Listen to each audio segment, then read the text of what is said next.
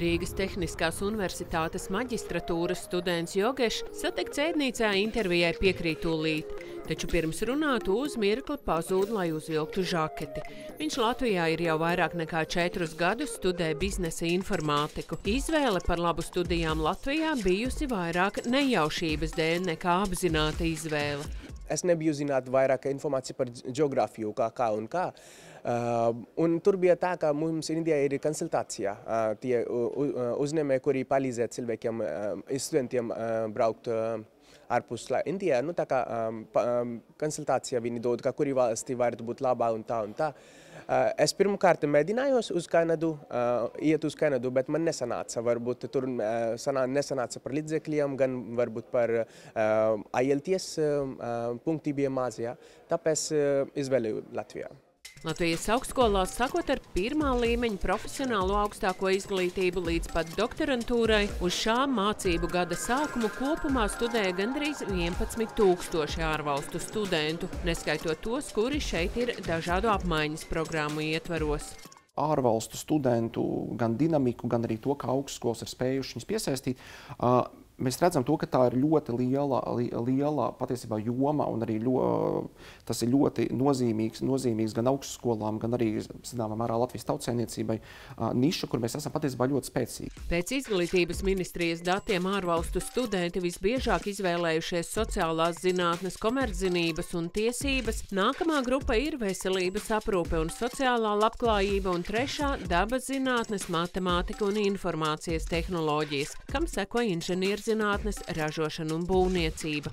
Izvēlās datorsistēmas un jau pēc tam uzņēmējdarbība programmas. Tās tās galvenās programmas, kuras nemainīgi nu, pēdējie 5, 6 gadi šis pieprasījums nav mainījies. Tieši Rīgas Tehniskajā universitātē uz mācību gada sākumu bija vislielākais studējošo skaits no ārzemēm. Te lielākā daļa mācās maģistratūrā. Tam seko Rīgas Stradiņa universitāte, kas ar medicīnas studiju piedāvājumu spējusi piesaistīt studentus no citām Eiropas Savienības un Eiropas ekonomiskās zonas valstīm. Tādu šeit ir 90%.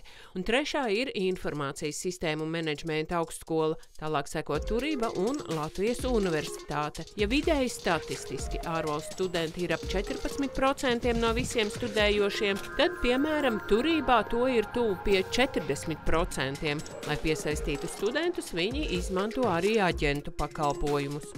Tā stratēģija tika būvēta, kad pamazām pa vienai valstī mēs attīstām.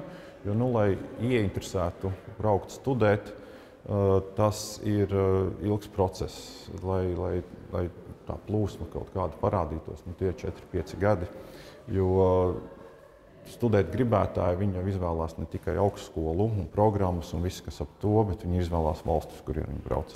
Latvijā visvairāk studentu šobrīd ir no Indijas, Uzbekistānas, Zviedrijas, Ukrainas un Vācijas. Turības studentei Oksanai no Kīvas izvēle par labu Latvijai bijusi mērķtiecīga, un viņa te vēlas palikt arī pēc studiju beigšanas. Kāpēc jūs izvēlējāties mācīties tieši Latvijā? Patiesībā pirmais iemesls ir sports. Es nodarbojos ar sportu, un šeit man bija ļoti daudz iespēju to turpināt darīt. Otrais iemesls ir universitāte. Kā jau iepriekš teicu, man bija ļoti svarīgi ne tikai apgūt teorētiskās zināšanas, bet arī pieredzi. Pilsonības un migrācijas lietu pārvaldē norāda, ka Latvijā katru gadu paliek aptuveni 500-600 absolventu. No tiem daļai tas saistīts ar privātiem iemesliem. Daļa jau atraduši darbu šeit, bet vēl daļa prasa pagarināt uzturēšanās atļauju, lai varētu meklēt darbu. Jašvans pabeidzis viesmīlības studijas un tagad trešo gadu strādā turībā kā Erasmus programmas koordinators, taču vēl nevar pateikt, vai nākotni saistīs ar Latviju.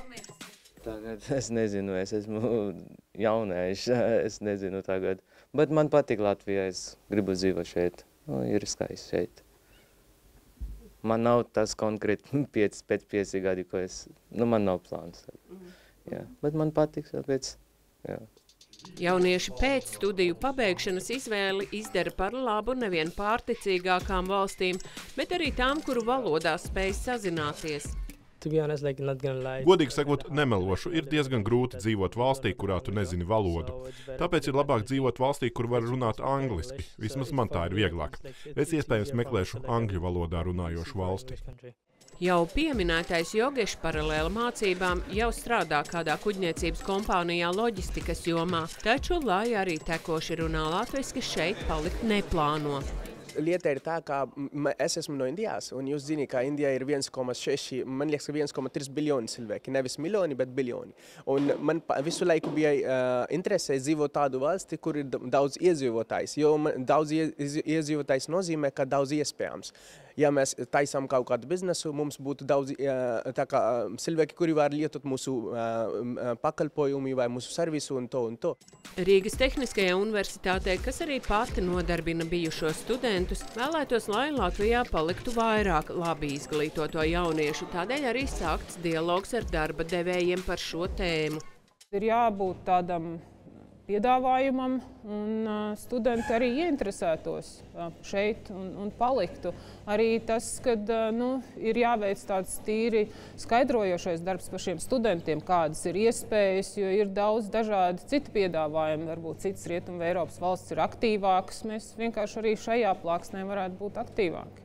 Lai arī plānošanas dokumentos nereizi vien norādīts uz to, ka šeit esošie ārvalstu studenti varētu būt augsti kvalificēti darba spēka resursi, taču praktiskā puse šim nav sekojusi.